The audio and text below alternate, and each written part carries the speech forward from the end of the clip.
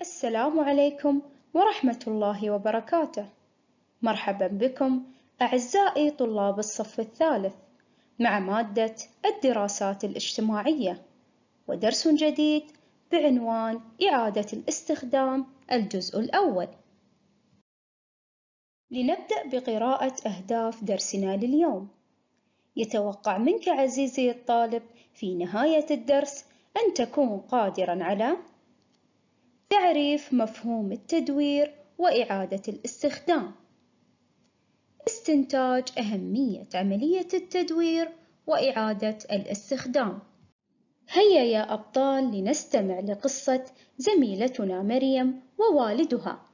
يجب عليكم الانتباه جيدا للتمكن من الإجابة على الأسئلة التي تلي القصة. أثناء قيام مريم بجولة مع أبيها في أحد الأسواق التجارية توقفت أمام الحاويات المخصصة لجمع المهملات لترمي منديلا ورقيا فيها. وقفت قليلا أمام الحاويات واستغربت وجود علامات فيها ورق بلاستيك وزجاج. ومن خلال العلامات الإرشادية استطاعت معرفة المكان المخصص للأوراق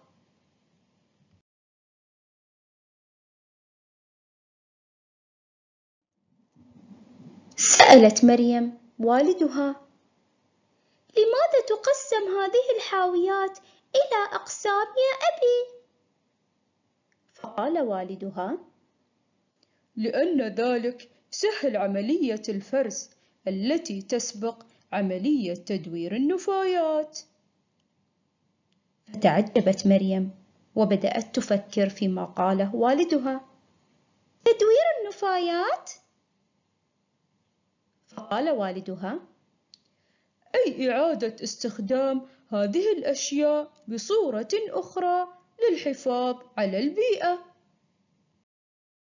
وبعد أن انتهينا من قراءة قصة مريم ووالدها لنفكر ونجيب على الأسئلة التالية.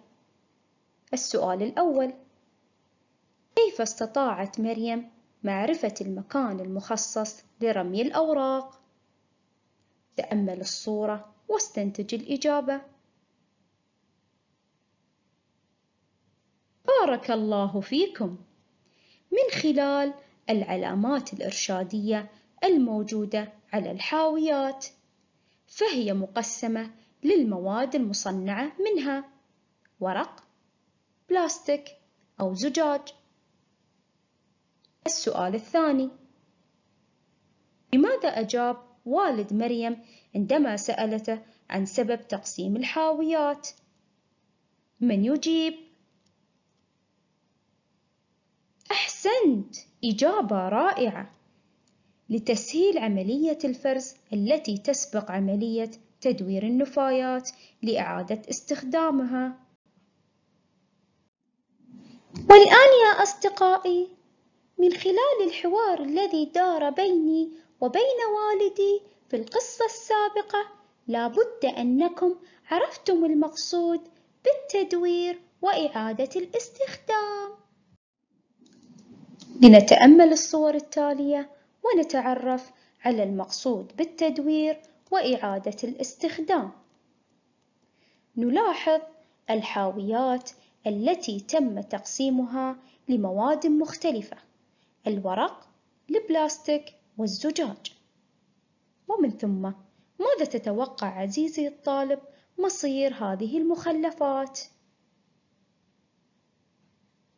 أحسنتم رائع يتم فرزها كما نشاهد في الصورة الثانية ومن ثم تحويلها لمنتجات مفيدة للإنسان.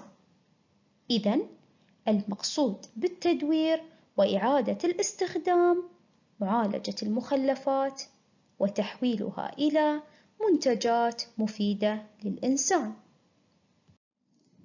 أعزائي طلاب الصف الثالث، لنستمع لطلب المعلمة نورة. تفضلي أستاذة نورة.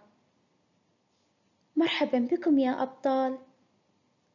أريد منكم التفكير وإعطائي أمثلة لمخلفات تم إعادة استخدامها بصورة مفيدة بانتظار إجابتكم فكروا جيداً والآن من يذكر أمثلة لمخلفات تم إعادة استخدامها بصورة مفيدة؟ أنا أنا معلمتي. تفضلي يا مريم. هناك نماذج كثيرة قمت بها في المدرسة لمادة الفنون البصرية وتم تزيين أرجاء المدرسة بها كما تلاحظ في الصور. على سبيل المثال أزرار الملابس. بارك الله فيك يا مريم. من يستطيع ذكر مثال آخر لمخلفات تم أيضا إعادة استخدامها بصورة مفيدة. أنا يا معلمتي. تفضل يا حمد. خلال حصة العلوم قمت أنا وفريق أصدقاء البيئة بإعادة استخدام بعض المواد البلاستيكية كقنان المياه الفارغة. في زراعة بعض النباتات كما نشاهد في الصور التي أمامنا. ممتاز يا حمد أحسنت عمل رائع. افتح كتابك المدرسي صفحة 104 للإجابة على السؤال الأول. ما المقصود بما يأتي؟ معالجة المخلفات وتحويلها إلى منتجات مفيدة للإنسان. من يجيب؟ ممتاز إجابة صحيحة التدوير وإعادة الاستخدام طلابي الأعزاء لدى زميلتكم مريم تساؤل لنستمع لها زملائي أنا أفكر في عملية التدوير وإعادة الاستخدام هل لها أهمية؟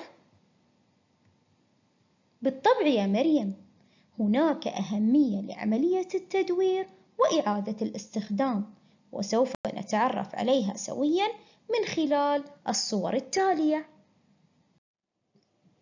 تأمل الصور التي أمامك لتتوصل لأهمية تدوير النفايات. ماذا تلاحظ؟ أحسنتم تلوث البيئة. بطرق تخلص الإنسان من النفايات كرميها في المياه أو رميها بكميات كبيرة. فتلوث البيئة حتما سيؤثر على جميع الكائنات الحية ومنها الإنسان. فلذلك بدأ الإنسان يفكر في التقليل من التلوث بإعادة التدوير والحفاظ على البيئة. إذا تكمن أهمية عملية التدوير في الحفاظ على البيئة من أخطار التلوث الناتجة عن طرق التخلص من النفايات. طالب الذكي، هل يوجد فرق بين الصورتين؟ نعم أحسنت، نلاحظ في الصورة الأولى النفايات مسببة تلوثا للماء أو الهواء. والصورة الثانية بيئة صحية ونظيفة لدولتنا الحبيبة قطر. تخلو من التلوث. إذا يجب علينا أن نتخلص من النفايات بطرق علمية ومفيدة للإنسان لننعم ببيئة آمنة. ومن هذه الطرق المفيدة إعادة التدوير. وبعد أن تعرفنا على أهمية التدوير لنفكر في إجابة سؤال زميلتنا مريم. أتساءل يا معلمتي كيف نتخلص من النفايات لنحافظ على بيئتنا؟ سؤال رائع يا مريم. هيا بنا نتعرف على طرق التخلص من النفايات لنحافظ على البيئة. فبلادنا قطر يا أبطال تهتم بالبيئة وبمعالجة النفايات بطرق آمنة حيث أن بلادنا قطر بها مركز لمعالجة النفايات بن سعيد والذي يعد أحد أكبر المراكز المتخصصة بالشرق الأوسط ويعمل وفق أنظمة بيئية تلبي كل متطلبات السلامة. ويتم ذلك من خلال تجميع النفايات المنزلية كالورق والزجاج والعلب المعدنية والأطعمة وغيرها والمخلفات الزراعية وكذلك مواد البناء وغيرها من النفايات عن طريق السيارات المخصصة. ومن ثم نقلها للمحطة فيتم فرز هذه النفايات وإعادة تدويرها أو يستفاد منها وكيف يتم الاستفادة منها يا أبطال؟ تأمل الصور التي أمامك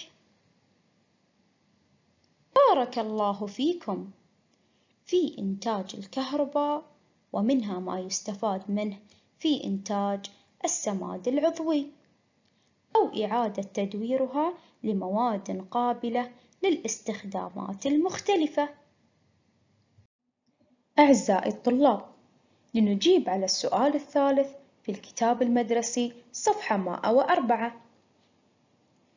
اذكر أهمية عملية التدوير وإعادة الاستخدام. بارك الله فيكم. الحفاظ على البيئة من أخطار التلوث الناتجة عن طرق التخلص من النفايات. دون إجابتك بخط جميل. ختامًا تعلمنا في درس إعادة الاستخدام الجزء الأول مفهوم التدوير وإعادة الاستخدام ماذا نعني به؟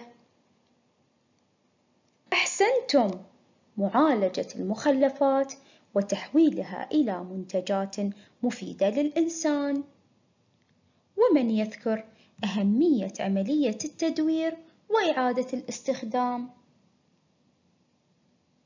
ممتاز. الحفاظ على البيئة من أخطار التلوث الناتجة عن طرق التخلص من النفايات. أعزائي الطلاب من خلال تطبيق Microsoft Teams عليكم الرجوع إلى معلم الصف لمناقشة الدرس والإجابة على جميع استفساراتكم.